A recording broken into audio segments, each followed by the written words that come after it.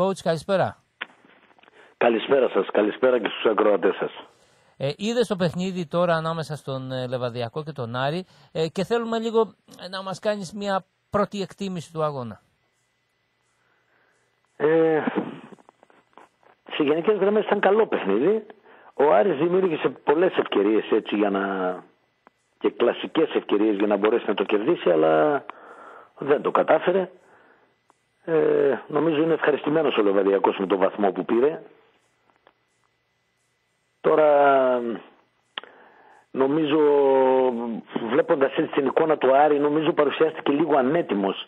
Μπήκε λίγο με έναν άλλον τρόπο παιχνιδιού με, τρία, με τρεις στην άμυνα ε, με έξω κάποιους παίκτες που πιθανόν βέβαια και αυτοί οι παίκτες να μην ήταν έτοιμοι γιατί ο Μαντσίνη είναι ένας πολύ καλός παίκτης αλλά όταν μπήκε στο δεύτερο ημίχρονο για να παίξει η παρουσία του δεν ήταν αυτή που ήταν τα προηγούμενα παιχνίδια. Μάλλον η αποχή τον έχει επηρεάσει. Και στο ημίχρονο χάνοντας ένα μηδέν ε, άλλαξε τον, ε, το σχηματισμό ε, με τους τρεις πήγε τέσσερις. Ε, πίεσε λίγο στην αρχή μπήκε ένα γκολ. Έχασε και δύο ευκαιρίες πάνω από τη γραμμή σχεδόν. Δηλαδή ευκαιρίες κλασικές πολύ εύκολες ευκαιρίες. Δεν το κατάφερε ήρθε νομίζω φυσιολογικά έτσι ένα Άρα λες coach μια, ως μια πρώτη σημείωση για το τακτικό μέρος του παιχνιδιού ότι αυτό το τρεις στην άμυνα το οποίο φορέθηκε πολύ στο Μουντιάλ και το ξεκίνησε ο Πάρντιου ε, δεν, ε, δεν βγήκε. Είδαμε ότι ο Άρης ήταν φλίερος στο πρώτο μήχρονο, ακίνδυνος, ενώ αντιθέτως με το που γύρισε στο γνωστό σύστημα με την τετράδα πίσω στο δεύτερο και με τις αλλαγές που έκανε έγινε πιο επικίνδυνος επιθετικά. Ε, κοιτάξτε τώρα νομίζω, νομίζω ότι του λείπανε κάποια παιδιά που παίζουν στη θέση του center back και ίσως να το φοβήθηκε να παιξει με δύο στην άμυνα. Ε, γι' αυτό και πιθανόν να επέλεξε την τριάδα. Παρ' όλα αυτά δεν λειτουργήσε αυτό το θέμα. Δηλαδή δεν, δεν ήταν αυτός ο Άρης που μας έχει συνηθίσει με επιθετικό παιχνίδι, πολλές φάσεις. Το δεύτερο ημίχρονο για ένα χρονικό διάστημα ε, παρότι βρισκόταν πίσω στο σκορ είχε την, ε, την υπεροχή, έβαλε ένα γκολ, πάλι βέβαια γκολ στημένο από ένα φάουλ. Παρ' όλα αυτά έκανε και δύο-τρεις άλλες ε, ευκαιρίες οι οποίες ήταν πολύ σημαντικές ευκαιρίες. Δηλαδή τώρα πάνω στη γραμμή δύο φορές η μπάλα δεν μπόρεσε να, κάποιος να τη σκουντίξει να τη βάλει γκολ. Ε, και έτσι αν δεν προσέξεις από την αρχή και δεν επιβληθείς και δεν ε, βάλεις το ρυθμό σου ε, να γίνεις εσύ αυτός που θα ελέγξει το παιχνίδι ε, με το, με το πέρασμα του χρόνου ο αντίπαλος γιγαντώνεται κάθεται πάνω στο αποτέλεσμα δημιουργεί κάποιες καθυστερήσεις έτσι σπάζοντας το ρυθμό και μερικές φορές έρχονται τέτοια αποτελέσματα. Εσύ αγχώνεσαι που θες το αποτέλεσμα, θες την νίκη ε, όλα αυτά έτσι, έτσι, έτσι, όπως το λέτε. παίζουν το ρόλο τους. Ε, coach, ε, βλέπεις ότι ο Άρης το πρώτο ημίχρονο έχασε χρόνο, δηλαδή ε, έχασε ένα ημίχρονο χωρίς να, να καταφέρει ε, να, να κάνει κάτι ουσιαστικό στο παιχνίδι με αποτέλεσμα να φορτωθεί με όλα αυτά που είπε στο δεύτερο. Ε, δηλαδή με την πίεση για το αποτέλεσμα, το άγχος, τις καθυστερήσεις του αντιπάλου, ε, την έλλειψη καθαρού μυαλού στην τελική προσπάθεια, γιατί χρειάζονταν οπωσδήποτε την νίκη. Ε, δεν ξέρω εάν έχασε ένα ημίχρονο. Ε, εκείνο που ξέρω είναι ότι βάζοντας τον γκολ ο Λεβαδιακός πλέον πίστηκαν οι παίκτες του ψυχολογικά ότι μπορούν να πάρουν το αποτέλεσμα, να κερδίσουν το παιχνίδι. Δηλαδή είναι, ένα, είναι, είναι το κερασάκι που μπαίνει για να, για να πείσουμε τους ίδιους τους εαυτούς μας την ίδια την ομάδα, τους συμπαίκτες μας και όλα αυτά ότι τελικά μπορούμε να το κερδίσουμε. Αυτό κάνει ακόμη πιο δύσκολο το έργο του αντιπάλου στην προκειμένη περίπτωση του Άρη. Παρ' όλα αυτά έπαιξε στο δεύτερο ημίχρονο, έβαλε ένα γκολ στο οποίο γκολ ε, θα πω ότι και στο ένα γκολ και στο άλλο γκολ την ευθύνη την έχουν οι τερματοφύλακες και οι δύο. Ήταν εκτός θέσεως και οι δύο που φάγαν τα γκολ. Παρ' όλα αυτά ήταν ωραία τα γκολ. Ήταν από μακριά κάποια σουτ, αλλά οι τερματοφύλακες, οι τοποθέσει των τερματοφυλάκων δεν ήταν καλές και έτσι δεχτήκαν τα γκολ. Ε, ήρθε το αποτέλεσμα, το οποίο αποτέλεσμα νομίζω πολύ πιο ευχαριστημένο αφήνει το λεβαδιακό. Ε, ναι, εννοείται. Coach, σε, σε τεχνικά θέματα μπορούμε να ε, σημειώσουμε ε, κάτι άλλο; δεν νομίζω. Εκείνο που, ε, εκείνο που παρατήρησα είναι ότι είδα το Λεβαδιακό, ο οποίος είναι μια ομάδα που κατά γενική ομολογία και οι ίδιοι το, το λένε, πούμε, προσπαθεί να παραμείνει στην κατηγορία. Είναι μια ομάδα δηλαδή που ο στόχος της είναι για να θέλω να μείνω. Αν το καταφέρω να μείνω στην κατηγορία. Δεν είναι μια ομάδα η οποία διεκδικεί play-off και όλα αυτά, όπου η ποιότητα ξεχυλίζει. Παρ' όλα αυτά, είδα από την ομάδα αυτή η οποία έπαιξε επιθετικό ποδόσφαιρο, είχε παίκτες σε κεντρικές θέσεις αλλά και ε, στην επίθεση επιθετικούς παίκτες. Παίκτες οι οποίοι μπορούν να φτάσουν στην περιοχή και να βάλουν ένα γκολ. Αυτό δεν σημαίνει ότι το κάνουν έτσι, αλλά αυτό είναι το πνεύμα. Δηλαδή είδα ότι η ομάδα ήθελε να λειτουργήσει επιθετικά. Τώρα για τον, Άδη, για τον Άρη θα πω ότι είδα δύο πράγματα. Ένα, τη λάθος προσέγγιση του πρώτου ημιχρόνου, τη διόρθωση του δευτέρου και, εν πάση περιπτώσει, βάλαμε ένα γκολ και σεφαρίσαμε. Μάλιστα. Σε επίπεδο προσώπων, ε, coach, τι, τι είδες από τις δύο ομάδες, ποιοι ξεχώρισαν κατά την άποψή σου; Για το Λεβαδιακό θα πω ότι πολλά νέα παιδιά και Έλληνες μάλιστα ε, παίζουν στην ομάδα, παίζουν στη βασική εντεκάδα και μάλιστα παίζαν και σήμερα και ήταν πρωταγωνιστές. Ο Βρακάς, ο Δούντσιος, ο Νίκας, το αριστερό τον Μπακ, ο Τσιάπρας, ο Σέντερ Μπακ, το αριστερό τον Μπακ δεν θυμάμαι το όνομά του τώρα, μου διαφέρει, ο Βίχος, Λοιπόν, είναι πολύ ευχάριστο να βλέπουμε Έλληνες παίκτες να παίζουν σε ομάδες και να πρωταγωνιστούν. Στο, στην αντίθετη πλευρά δεν είδα από τον Άρη να έχει Έλληνες παίκτες, αλλά τώρα επειδή δεν μιλάμε μόνο για τους Έλληνες, θα πω ότι ε, και εκεί ο Γκρέι έκανε κάποιες φιλότιμες προσπάθειες με, με το τρέξιμό του να ανοίξει χώρους και όλα αυτά. Στην τελική προσπάθεια όμως ήταν ε, αναποτελεσματικός. Ε, έχασε πολύ μεγάλη ευκαιρία σε κοινή αιστεία. Ε, εκείνος που ξεχώριζε ε, σαν τη μήγαμε στο γάλα νομίζω ήταν ο, ο Γκαρσία ο οποίος ε, φαίνεται ότι είναι ο ηγέτης πλέον αυτής της ομάδας.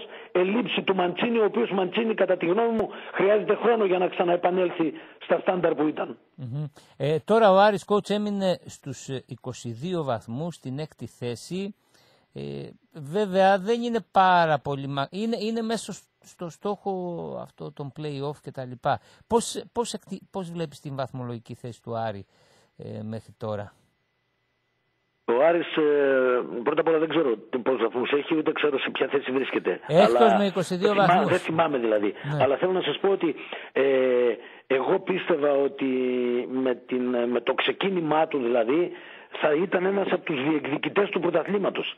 Όχι, όχι να διεκδικεί την πέμπτη θέση για να μπει στα play-off, αν δεν κάνω λάθος. Γιατί αυτή τη στιγμή κάτι τέτοιο δεν συμβαίνει. Ναι, ναι, αυτός είναι ο στόχος, δεν είναι κάποιος. Ναι. Εγώ στην αρχή πίστευα ότι τα πράγματα θα είναι διαφορετικά. Δεν ξέρω γιατί φτάσαν σε αυτό το σημείο.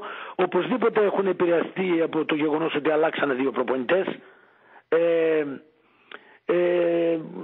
ίσως ε, το, τα πρώτα παιχνίδια τα ευρωπαϊκά τα οποία δεν ήρθαν έτσι όπως θα θέλανε οι άνθρωποι του Άρη εκεί η ψυχολογία έπαιξε ένα σημαντικό ρόλο ε, και δεν καταφέραν να επανέλθουν γρήγορα. Το θέμα του Μαντσίνη, ο οποίος ήταν ο βασικός επιθετικός, έτσι, μέσω επιθετικός παίκτης που ήταν σημείο αναφοράς, ε, πέρασε μια περιπέτεια δύο-τρεις μήνες, δεν παίζω, παίζω, τιμωρημένος, δεν ξέρω τι.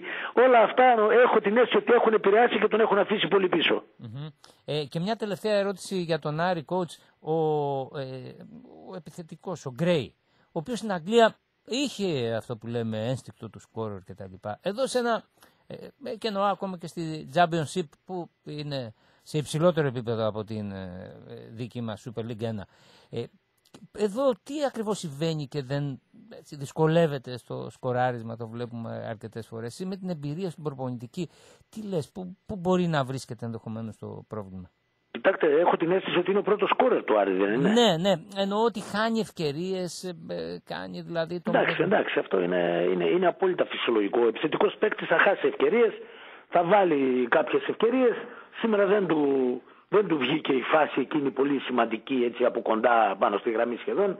Ε, τι να σου πω τώρα, δεν ξέρω εάν το παιδί αυτό νιώθει καλά, αν περνάει καλά στην ομάδα, αν έχει προβλήματα άλλα.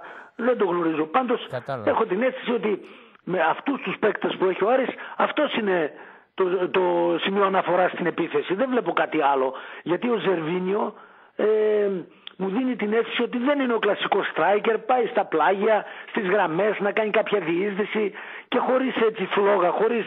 Αυτός τουλάχιστον κάνει τον αγώνα του, την προσπάθειά του. Mm-hmm. Ωραία, coach. Πάμε τώρα στο αυριανό παιχνίδι του ΠΑΟΚ, αφού πούμε ότι ε, σε, στα άλλα δύο παιχνίδια που ε, βρίσκονται σε εξέλιξη, στο 24ο λεπτό ΑΕΚ Λαμία 0-0, ε, στο ίδιο λεπτό Αστέρας Τρίπολης Βόλος 0-0, δεν έχουμε σκορ σε αυτά τα δύο παιχνίδια. πάμε στον αυριανό αγώνα του ΠΑΟΚ, coach, στο, στο Αγρίνιο με αντίπαλο τον Πανετολικό, εκεί όπου ο ΠΑΟΚ κατεβαίνει με τέσσερις ελλείψεις, δύο μία καινούρια του Φελίπε Σουάρες, ο οποίος στα τρία μάτς τα τελευταία τα νικηφόρα πριν από την διακοπή του πρωταθλήματος είχε μπει στην ομάδα και μάλιστα είχε ε, προσφέρει πολλά και στην αναζωγόνηση εκεί κάπου στις μεσαίες γραμμής. Εκτός είναι και ο Κούρτιτς και ε, ο Λίρατζης με τον Τζαούση που βέβαια δεν έχουν επανέλθει, είναι ακόμα στο στάδιο της, ε, της αποθεραπείας για να μπουν στο για να μπουν ξανά στην ομάδα. Ε, ο Πάοκ λοιπόν, ο οποίος ε, έχει μία ε, διακοπή και αυτός όπως όλες οι ομάδες για ένα μήνα και κάτι το προηγούμενο μάτς με την Καλαμάτα. Στην Καλαμάτα είναι ένα παιχνίδι βέβαια απέναντι στην Καλαμάτα που έπαιζε με πολλούς αναπληρωματικούς στην ομάδα Β' Εθνικής. Δεν νομίζω ότι αποτελεί και βασικό κριτήριο coach. Ε, εσύ τι, τι, ε, πώς το αξιολογείς το αυριανό μάτς με τον ε, Πανετολικό; Δύσκολα τα πράγματα είναι για τον Πάοκ. Ε, αυτό που αναφέρατε και εσείς, οι απώλειες αυτές παίζουν ένα ρόλο, χωρίς να είναι ε, αυτή η παίκτηση αναντικατάστατη, αλλά με αυτούς, με αυτούς ο ΠΑΟΚ βάδιζε τα τελευταία χρόνια. Ε, είναι σημαντικό το ότι απουσιάζουν.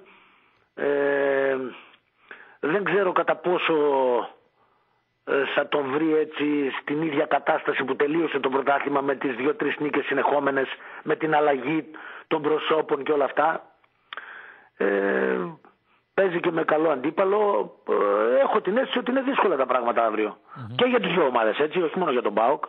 Ε, σε επίπεδο ε, τακτικής coach, ο, τον Πανετολικό που τον ε, Τακτικής, να, να σας πω λίγο. Το θέμα της τακτικής, του τρόπου παιχνιδιού τέλος πάντων του, που παίζει ο ΠΑΟΚ mm-hmm. είναι γνωστός πλέον. Mm-hmm. Όλοι, όλοι ξέρουμε ότι ο ΠΑΟΚ θα παίξει με αυτόν τον τρόπο. Ο προπονητής δηλαδή αυτός ο προπονητής όλα τα χρόνια που βρίσκεται εδώ αυτός είναι ο τρόπος με τον οποίο κατεβάζει την ομάδα. Άρα λοιπόν ο αντίπαλος γνωρίζει τι πρέπει να κάνει. Το θέμα είναι ότι αυτό που θα κάνει οι παίκτες δηλαδή που θα επιλέξει να βάλει και να παίξουν αντιμέτωποι με τον τρόπο παιχνιδιού του ΠΑΟΚ αν μπορούν να ανταποκριθούν στο ένας με έναν απέναντι στον παίκτη του ΠΑΟΚ στο συνολικό όλοι μαζί εκεί, εκεί γίνεται η διαφορά τώρα δεν, δεν νομίζω ότι έχει κάποια έκπληξη ο ΠΑΟΚ να παρουσιάσει θα παίξει με τον Ολιβέρα Σεντερφόρ δεξιά και αριστερά τους δύο Βίγκερ πίσω από τον Πίσω από το φόρ έβαζε έναν, έναν μεσοεπιθετικό. Συνήθως έβαζε τον Αγκούστο. Τώρα στα τελευταία τρία παιχνίδια πριν τελειώσει το πρωτάθλημα τον πήρε τον Αγκούστο πίσω και έβαλε τον Σοάρε. Και Γι' τώρα... είπα προηγουμένως ότι πιθανόν ο Σοάρε να είναι μια απώλεια. Παρ' όλα αυτά όμως τις νίκες τις οποίες είδαμε, τις είδαμε και με αντιπάλους όχι τόσο πολύ δυνατούς. Α δούμε αυτός ο τρόπος ή αυτή η επιλογή προσώπων θα μπορεί να είναι καλή παίζοντας και με αντιπάλους δυνατούς. Τότε θα πούμε ναι ότι εδώ ε, πέρασε τις εξετάσεις, ας πούμε αυτός ο τροπος και αυτά τα πρόσωπα. Ε, να πούμε coach ότι η αποστολή βγήκε πριν από λίγο του ΠΑΟΚ για τον αυριανό αγώνα. Κοτάρσκι, Ζήφκοβιτς, Μπαλωμένος, Βιερίνιας, Άστρε, Κάργας, Κουλιεράκη, Σίγκανσον, Νάσμπερκ, Ράφα Σουάρες, Βαμπ, Ντάντας, Ελκαντουρί, Ντόγκλας, Κωνσταντέλιας, Ρικάρντο, Μπίσεσβαρ, Μούργκ μετά από πολύ καιρό, ε, Ζήφκοβιτς, Μπράντον, Ολιβέηρα και Νάρεϊ και μια, έτσι, μια πρώτη εκτίμηση για την 11 από τις δοκιμές που έκανε κατά τη διάρκεια της εβδομάδας ο Λουτσέσκου ε, είναι ότι θα παίξει με τον Κοτάρσκι τερματοφύλακα βέβαια. Στην άμυνα Σάστρε ή Βιερίνια, γιατί δοκίμασε και το Βιερίνια ε, κατά τη διάρκεια της εβδομάδας στα εσωτερικά διπλά. Αριστερά ο Ράφα Σοάρες. Ο ε, Κουλιεράκη είναι σίγουρος στο κέντρο της άμυνας. Δοκιμάστηκε ο Κάργας ως παρτενέρ του, γιατί ο Ίγκανσον ε, είναι ναι μέτιμο, αλλά είχε κάποια προβλήματα τραυματισμού κτλ. Ε, στην, ε, στα χαφ ο, η τριάδα εκεί αναμένεται να παίξει ο Ελκαντουρί, ο Αουγκούστο και ο Σβάμπ ή ο Ντάντας. Και μπροστά, όπως είπες, η Βίγκερ Ζήφκοβιτ επανέρχεται μετά τις καταπληκτικές εμφανίσεις που έκανε στο Μουντιάλ, ο Κωνσταντέλιας ε, και, ο, ε, και ο Λιβέιρα. Ε, το Ζήφκοβιτ, αλήθεια, πώς τον είδες στο Μουντιάλ, coach, σε ρόλο back half στο 3-5-2 του στο Ίκοβιτ εκεί. Δεξί ε, τον είχατε δει και στα προκληματικά. Καλός ήταν ο Ζήφκοβιτ. Το θέμα είναι να μπορέσει και εδώ, εδώ βέβαια παίζει άλλη να μπορέσει να βγάλει έτσι αυτό το, αυτά τα χαρακτηριστικά τα καλά που έχει. Γιατί μέχρι τώρα έχει περίπου μεγάλο χρονικό διάστημα ε, που δεν, ήταν, τον έχουμε δει να παίζει πρωταγωνιστικό ρόλο. Εκτός από τον γκολ που έβαλε το τελευταίο, το οποίο ήταν πολύ ωραίο γκολ, πιθανόν εκείνο το γκολ, πιθανόν οι εμφανίσεις στο παγκόσμιο κύπελο ψυχολογικά να τον τονώσουν και να, να δούμε έναν καλύτερο Ζήφκοβιτς. Γιατί δεν τον έχουμε δει μέχρι τώρα. Εσύ αν τον, εσύ, αν τον είχες παίκτη, σε ποια θέση θα τον έβαλες; Γιατί τον ε, βλέπουμε. Εκεί που τον, εκεί που τον χρησιμοποιεί ο Λουτσέσκου. Δηλαδή στα άκρα μεσοεπιθετικά. Ναι, στα άκρα μεσοεπιθετικά. Άλλωστε αυτή είναι και η θέση του. Mm-hmm. Είναι διαφορετικές οι απαιτήσεις σε, σε επίπεδο εθνικών ομάδων που το βάζει στο Ίκοβιτς δεξί back half, ας πούμε. Για να Εντάξει, μπορεί να έχει τη δυνατότητα το παιδί, επειδή είναι παιδί που θα μπει σε τακτικά θέματα, θα γυρίσει πίσω, να μπορεί να παίξει αυτή τη θέση. Mm-hmm. Ε, αυτό επέλεξε ο προπονητής ο Σέρβος Τώρα, να, αν να μιλήσουμε για το Σέρβο τον προπονητή, θα τα αφήσουμε. Γιατί 3-1 χάνανε από το ε, κερδάγανε και 2-1 κερδάγανε και αυτοί ήταν όλοι συνεπίτες και τρώγαν τα γκολ. Θυμόσαστε. Ναι, λοιπόν, α, ε, για το παγκόσμιο κύπελο ναι, ναι, ναι, ναι, αυτό, είναι, αυτό είναι ένα άλλο θέμα τώρα. Το θέμα είναι ότι εδώ ο Ζεύκοβιτ ήρθε σαν Winger, πρέπει να παίξει σε αυτή τη θέση, είναι καλός παίκτης, να ανεβάσει την απόδοσή του, να βοηθήσει τον Μπάουκ και τον εαυτό του. Ο πανετολικός coach Πώς τον έχεις δει μέχρι τώρα σαν ομάδα, τι χαρακτηριστικά δεν Έχω, δεν έχω καλή εικόνα, να ξέρετε, mm. και ίσως κάνω και κάποιο λάθος. σω να δικήσω και κάποιον. Πάντως, από ό,τι ξέρω, πάει, τα πάει καλά. Δεν τον έχω παρακολουθήσει πολύ καλά. Ναι. Ε, είναι μια ανταγωνιστική ομάδα γιατί ε, βρίσκεται και μόνο ότι βρίσκεται στο κέντρο της βαθμολογίας κτλ. Είναι μια, μια έδρα δύσκολη. Πού πιστεύεις ότι θα κρυθεί το παιχνίδι αύριο, coach? Πού θα κρυθεί; Όποια ομάδα παίξει καλύτερα θα κρίνει και το παιχνίδι. Η ομάδα που θα επιλέξει να, να πάρει την πρωτοβουλία, να ελέγξει το ρυθμό, να παίξει επιθετικά, να μπορέσει να δημιουργήσει προποθέσει και ευκαιρίες, αυτή θα κερδίσει και το παιχνίδι. Ε, Στις 10 φορές, στις 9 το κερδίζει. Τώρα, μία φορά στο ποδόσφαιρο παίζει ρόλο και η τύχη. Αλλά όποιος προσπαθήσει να παίξει καλύτερα από τον άλλον, φαντάζομαι ότι θα το κερδίσει. Ναι. Ε, και από πλευράς Πάοκ, λε, είναι το ζητούμενο σε τι κατάσταση θα επανέλθει μετά την ε, διακοπή του πρωταθλήματος. Πάντως είμαι σίγουρος ότι ο προπονητής, mm-hmm. βλέποντας την εικόνα των τελευταίων τριών-τεσσάρων παιχνιδιών πριν τελειώσει το πρωτάθλημα, ε, θα επιλέξει να παίξει με αυτόν τον τρόπο. Ε, και αυτό είναι και το καλύτερο, έτσι. Αυτό είχαμε δει τότε. Το, αν, αν θέλουμε να πούμε τους τελευταίους 5-6 μήνες από το καλοκαίρι μέχρι τώρα ποιον πάω είδαμε καλύτερο, είναι των τελευταίων τριών-τεσσάρων παιχνιδιών. Ε, ε, δεν νομίζω ότι ο προπονητής τώρα είναι τρελός και ο κάθε προπονητής, δεν μιλώ για αυτόν, για όλους τους προπονητές μιλώ να αλλάξει κάτι διαφορετικό, θα προσπαθήσει να παίξει έτσι. Βέβαια μπήκαν και κάποια καινούργια πρόσωπα, mm-hmm. όπως ο μικρός που φαίνεται ότι είναι καλός τεχνίτης και ξέρει μπάλα, απελευθερώνει καλά το παιχνίδι, ε, τεχνικά χαρακτηριστικά πολύ ωραία. Όπως ο Σοάρες που είπατε μπήκε εκεί, όπως ο Αγκούστο πήγε στη θέση του πίσω και όχι δεκάρι. Δηλαδή γίνανε κάποια πράγματα τα οποία δείξαν ένα φως. Ας ελπίσουμε ότι αυτό το φως θα αρχίζει να λάμπει περισσότερο. Mm-hmm. Ε, κότσι, τελευταία ερώτηση για, το, ε, για τον ε, Πάου, για το συγκεκριμένο παιχνίδι. Ε, τώρα που επανέρχεται ο Ζήφκοβιτς μετά το Μουντιάλ, υπάρχει και ο Νάρη, ο μικρός ο Κωνσταντέλιας, εσύ ας πούμε προπονητικά, τι, τι, τι θα έκανες; Κοιτάξτε να σου πω, ναι. για τον Κωνσταντέλια εγώ δεν ξέρω πολλά, ξέρουμε όλοι αυτά που έχουμε δει έτσι. Ναι. Δεν ξέρουμε το παιδί πώς προπονείται, ποια είναι ακριβώς η κλασική του θέση. Έχω ακούσει ναι. ότι, ότι μπορεί να παίξει και οκτάρι, δηλαδή ε, και σαν δεκάρι οκτάρι πίσω από το σέντερ φορ. Και μάλιστα ότι αυτή ήταν η, η, θέση του η πρώτη και τώρα τον πήγαν πλάγια. Ναι, είναι γεγονός. Ναι, ε, άρα λοιπόν γιατί να μην ας παίξει αυτός. Ε, ξέρω εγώ πίσω από το φορ ή οκτάρι και ας πάει ο Ναρέι με το Ζίβκοβιτς στα πλάγια. Δεν, δεν βλέπω. Οι καλοί παίκτες παίζουν παντού. Ακούστε να σας πω λίγο. Ναι. Κάποτε όταν έπαιζα ποδόσφαιρο στον, στον ΠΑΟΚ έπαιζα δεξί μπακ. Και δεξιμπάκ έπαιζε και ο Γιώργος ο Τουρσουνίδη στα, στα, στα χρόνια τα, του ξεκινήματός του. Το Ήταν πολύ καλός παίκτης. Mm-hmm. Και το καλοκαίρι ο Πάουκ εκείνη την εποχή αγόρασε έναν σέντερφορ τον Χωσάμ Χασάν από την Αίγυπτο και εκείνος ήθελε να έρθει και ο αδερφός του. Αλλιώς δεν ερχόταν. Ο, ο οποίος αδερφός του έπαιζε δεξιμπάκ. Ναι και θα γινόμασταν τρεις. Διεθνής ο Αιγύπτιος, διεθνής εγώ, διεθνής και ο Τρουσουνίδης. Τρία δεξιά μπακ. Και λέει, λέμε του προπονητή, ήταν ο Γιάκοψ, που λέμε, ε, εντάξει, ε, θέλετε να πάρετε και ένα δεξιμπάκ, ας πούμε. Γιατί δεν είστε ευχαριστημένοι από εμάς, ας πούμε; Ναι. Λέει, και λέει, θα γίνουμε τρεις.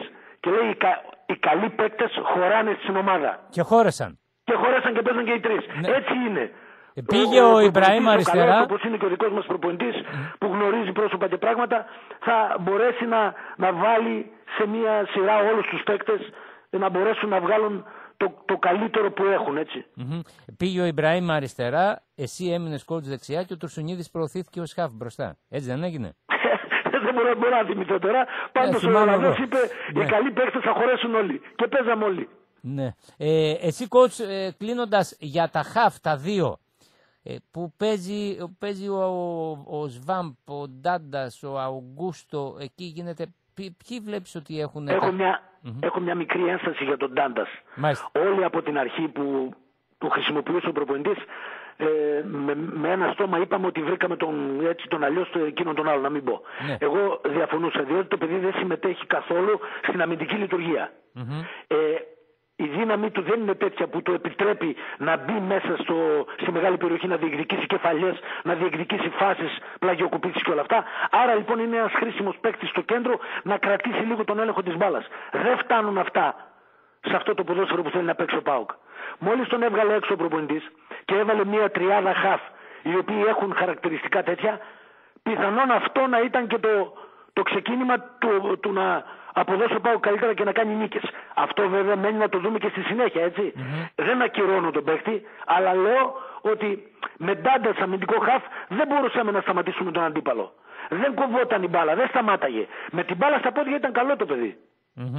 Είναι... Δεν φτάνει όμως στο ποδόσφαιρο το τωρινό να έχω την μπάλα στα πόδια μόνο. Αυτό αποτυπώθηκε και με τα αποτελέσματα, τα τρία νικηφόρα τα τελευταία. Εντάξει, εντάξει, ας κάνουμε λίγο υπομονή γιατί Για να, δούμε. Να, δούμε και τα υπόλοιπα και τότε να έχουμε συμπεράσματα έτσι mm. ακριβείς. Coach, κλείνοντας ένα σχόλιο για το τελικό του Μουντιάλ. Τι να πω ρε παιδιά για το τελικό, υπάρχει περίπτωση, όχι υπάρχει περίπτωση. Ε, είναι δεδομένο ότι η γνώμη, αν ρωτήσουμε ένα εκατομμύριο κόσμο, ένα εκατομμύριο θα πούνε ο καλύτερος τελικός που έχουμε δει. Συγκλονιστικό παιχνίδι, ε, διακοιμάνσεις στο σκορ, στην ψυχολογία, μέχρι τα πέναλτι, μέχρι και το τελευταίο πέναλτι που μπήκε τον γκολ, ε, υπήρχε ενδιαφέρον. Όλοι ήταν καρφωμένοι στην τηλεόραση. Δεν υπήρχε καλύτερο από αυτό που είδαμε. Ε, στην αντιπαράθεση εκεί σκαλώνει ε, με, τον, ε, με τον αντίπαλο προπονητή τι είδες εκεί σε επίπεδο τακτικής γιατί παίχτηκαν πολλά. Δηλαδή... Τακτική θα πω για το σκαλόνι του πρώτου ημιχρόνου και τα πρώτα λεπτά όσο ο Ντιμαρία άντεχε. Ναι. Ήτανε, ήτανε πολύ καλή η προσέγγιση του, ο τρόπος με τον οποίο κάλυπτε το κενό του Μέση που δεν συμμετείχε, με τον Ντεπόλ να βγαίνει στην άκρη να πάει στο μπακ, να μην φέρνει το Μέση να τον ταλαιπωρήσει διαδρομές. Δηλαδή είχε, είχε ένα πλάνο. Το ίδιο βέβαια είχε και ο άλλος προπονητής. Αλλά ο άλλος προπονητής ε, αποδείχτηκε ότι δύο-τρία παιδιά που ήταν άρρωστα και ήταν τραυματίες δεν, δεν είχαν ε, την απόδοση των άλλων παιχνιδιών και γρήγορα προσπάθησε να παρέμβει στο παιχνίδι και να κάνει αλλαγές. Αυτές οι αλλαγές παίξαν σημαντικό ρόλο στο δεύτερο που βρήκαν το ρυθμό και ισοφαρίσαν το παιχνίδι. Mm. Δηλαδή και ο ένας προπονητής και ο άλλος προπονητής το προσπαθήσαν πολύ το παιχνίδι, το παίξαν. Mm-hmm. Μήπως τον βοήθησε τον Ντεσάμπ και ο Σκαλόνι και τι θέλω να πω, εκεί που βέβαια θα μου πεις ήταν ο Ντιμαρία μέχρι εκεί που είχε δυνάμεις. Ε, δηλαδή ότι έβαλε, αλλά έβγαλε τον Ντιμαρία στο 64 και έβαλε ε, δεύτερο αριστερό μπακ επί της ουσίας. Πολύ, πολύ φυσιολογική αυτή η κίνηση που έκανε. Να ξέρετε, όλοι οι προπονητές αυτό κάνουν. Έχουν 2-0 το παιχνίδι, ε, ε, ο αντίπαλος δεν, δεν κινδυνεύει. Ο καλός του παίκτης, ο οποίος όμως έχει παραδώσει πνεύμα, του ζητάει αλλαγή. Και αυτός προσπαθεί να κουμπώσει ένα παίχτη εκεί, να κλείσει την πλευρά, να μην δεχτεί επιθέσεις για να μπορέσει να πάει το παιχνίδι προς το τέλος και να το κερδίσει. Μάλιστα. Άσχετα ε, αν ο αντίπαλος έχει αυτόν τον πυραυλοκίνητο, ο οποίος μπορεί να βάλει 10 εκεί και μέσα στους 10 πάλι να το βάλει. Ε, τι να κάνουμε, έτσι είναι τώρα. Τον Εμπαπέ, λες, Τι πράγμα; Τον Εμπαπέ. ε, αυτόν, αυτόν τον πυραυλοκίνητο. Δεν τα ξεκινάει. Λες και ξεκινάει η Ferrari στο τέτοιο. Ελάφι. Στο, στο Grand Prix, ναι. ναι ελάφι. Ο Μέση κλείνει την καριέρα του με ένα. Ε, ο Μέση, τι να πούμε, ρε παιδιά τώρα. Το Μέση δεν πρέπει να τον κρίνουμε τώρα σε αυτά τα παιχνίδια. Αυτά τα παιχνίδια ήταν για να ολοκληρώσει την πορεία του, την ποδοσφαιρική του ζωή. Με έναν τίτλο που το έλειπε. Εμείς το Μέση πρέπει να τον κρίνουμε πριν από 5 χρόνια, 7 χρόνια, τότε που έπαιρνε την μπάλα από τον τερματοφύλακα και πέρναγε όλο τον κόσμο. Και, και το έκανε και στον ημιτελικό. Τώρα να πούμε για αυτόν. Είναι ο καλύτερος παίκτης που βγήκε ποτέ στην ιστορία. Δεν υπάρχει άλλος. Εγώ έχω παίξει αντίπαλος με τον Μαραντόνα. Τέτοια προσωπικότητα σαν εκείνο δεν υπήρχε. Ναι. Ναι, αλλά, ναι, αλλά αν κάνω μία σύγκριση με αυτό, με τούτον εδώ, αυτός στα παιχνίδια που έπαιξε έβαλε 800 γκολ και εκείνος έβαλε 100. έδωσε ένα, ένα χίλιες assist και ο άλλος έδωσε ας πούμε 100 assist. Είναι τεράστια, τεράστια οι διαφορές. Πελέ. Ε, τον Πελέ δεν το θυμάμαι και τόσο. Δεν είμαι τόσο μεγάλος, να ξέρεις. Ε. Πιο μικρός είμαι. Αυτό το ξέρω. άρα λες, ο Μέση είναι ο κορυφαίος ποδοσφαιριστής όλων των εποχών. Ε, και με μεγάλη διαφορά. Και με μεγάλη διαφορά. Νίκος Καραγεωργίου, ε, coach, ευχαριστούμε πολύ. Να Καλό απόγευμα. Καλά όλοι. Γεια. Focus 103,6